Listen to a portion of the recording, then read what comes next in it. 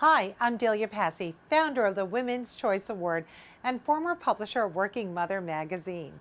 Did you know that in the U.S. there are over 129 million visits to the emergency department every year? In fact, research has shown that the majority of emergency department visits are by women. As a mother, sister, and daughter, when seconds count in a medical emergency, you need to know where to go for the best emergency care.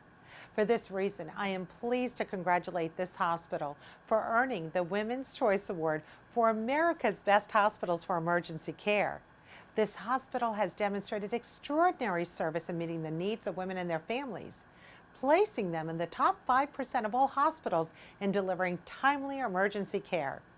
We applaud this hospital's commitment to excellence in meeting the needs and preferences of their patients and their daily commitment to the Women's Choice Award mission to empower women to make smart healthcare choices for themselves and their family.